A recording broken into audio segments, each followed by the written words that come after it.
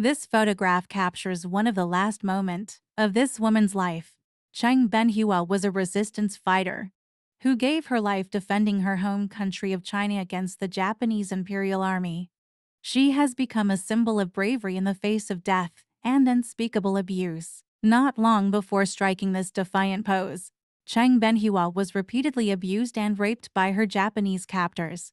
Despite the sexual violence she had to endure, and the awareness that she would soon be killed, she still managed to put on a devious smile that makes it seem like she is taunting the soldiers around her.